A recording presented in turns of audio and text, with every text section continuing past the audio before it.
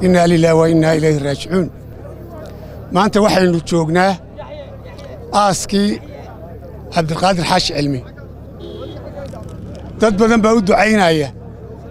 Intuu xanuunsanaya waa loo ducaynaayey oo caafimaad baa loogu ducaynaayey maanta geeridiisana waxaynu ugu ducaynaynaa aakhiro meel fiican ilaahay geeyo.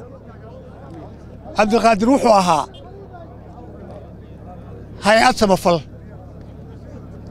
dadku waxay yidhaahdaan hay'adahan ajinabigaynu u naqaannaa hay'ado. Samafal ah. Laakiin wuxuu ahaa hay'ad samafala laakiin magacaan lahayn. Samafalkaa iyo deeqaha uu ku bixin jiray samafalka waxaa ka mid ahaa dawga waqooyi qabta ilaa jabuuti. Guddigaa dhisaaya jeerman buu ka ahaa. Lacagta ugu badanna isagaa bixin jiray amba soo ururin jiray wuxuu ahaa dad ilaa konton qoysa amba ku dhadhow oo dan yara oo reer hargayse ah ayuu masaariiftooda siin jiray bil walba. Arday jaamacadaha ku jira oo jufadiisoo keliya aan ahayn reer somalilan ka kooban oonan tiradooda cayimi karin isagaa ka bixin jiray fiiga isagaa ka bixin jiray. Cagafta halkaa joogta cagafyada halkaa jooga ee xabaalahaan lagu qodo darawaliinta ka shaqaysa mushaharka isagaa siin jiray. Cabdiqaadir hay'adaha samafalkaynu u naqaanaynu martida u nahay isagaa ka samafal badnaa. Marka run loo hadlo.